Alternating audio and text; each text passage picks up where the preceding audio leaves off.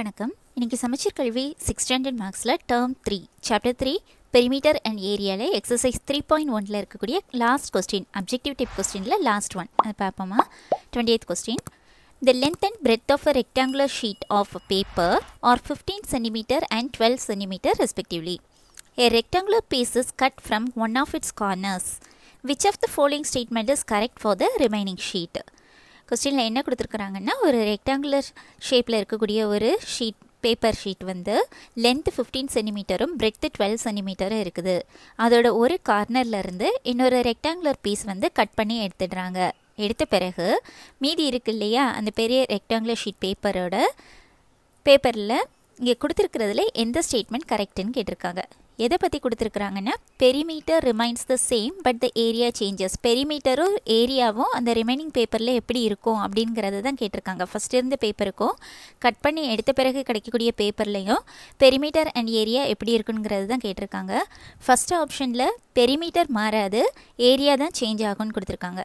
Second option area remains the same but the perimeter changes area அப்படியே தான் இருக்கும் perimeter change ஆகும் third one there will be a change in both area and perimeter area perimeter ரெண்டுலேயுமே change இருக்குன்னு சொல்லியிருக்காங்க. Fourth one both the area and perimeter remains the same ரெண்டுலேயுமே area perimeter ரெண்டுமே change இருக்காது. ஒரு ஒன்று போல் தான் இருக்கும்னு சொல்லியிருக்காங்க. ஓகேம்மா இதுக்கு ரெஃபர் ஒரு ஃபிகர் ட்ரா பண்ணிப்போம். ஒரு ரெக்டாங்குலர் ஷீட் பேப்பராக எடுத்துக்கோங்க இது. இதில் என்ன கொடுத்துருந்தாங்கன்னா ஃபஸ்ட்டு இது வந்து twelve sorry fifteen centimeter length fifteen சென்டிமீட்டரும் breadth twelve centimetre இருக்கக்கூடிய இந்த rectangular sheet paper fifteen centimeter and this is twelve centimeter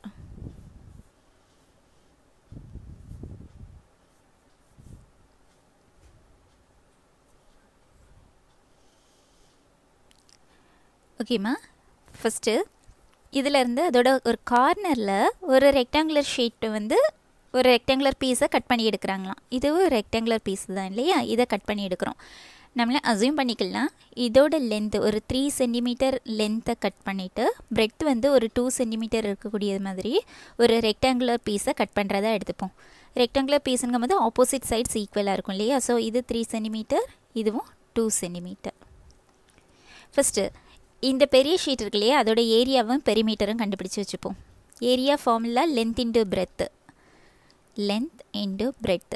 That is 15 into 12 that is equal to 110 sorry 180 centimeter square.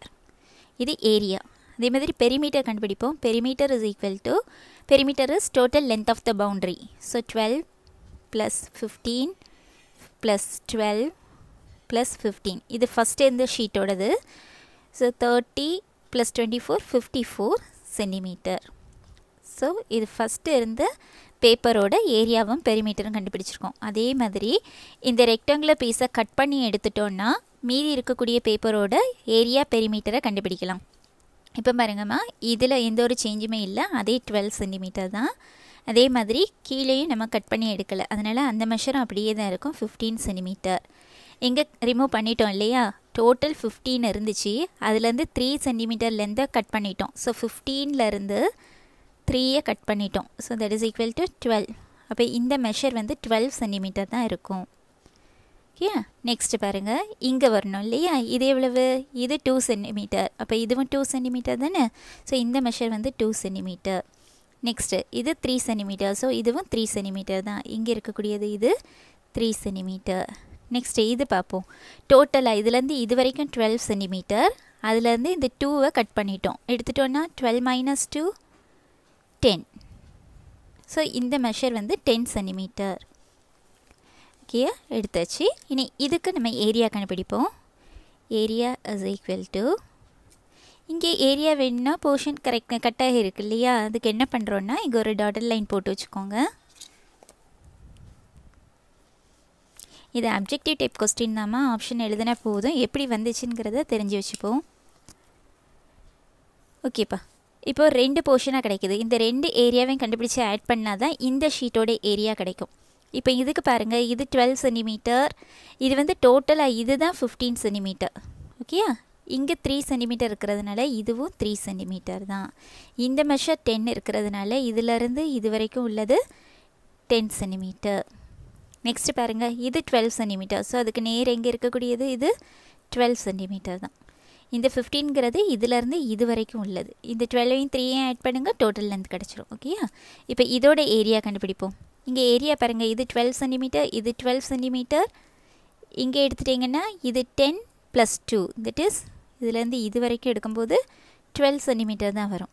இதுவும் டுவெல் சென்டிமீட்டர் தான். Four sides are equal so ஒரு square இருக்கு இல்லையா? Area of the square plus area of this rectangle area of the square ஃபார்மில் side into side that is twelve into twelve plus இங்கே rectangle area of the rectangle length into breadth length is ten centimetre breadth is three centimetre so ten into three that is equal to twelve twelve sir one hundred forty four plus thirty that is equal to one hundred seventy four square centimetre ஓகேயா next perimeter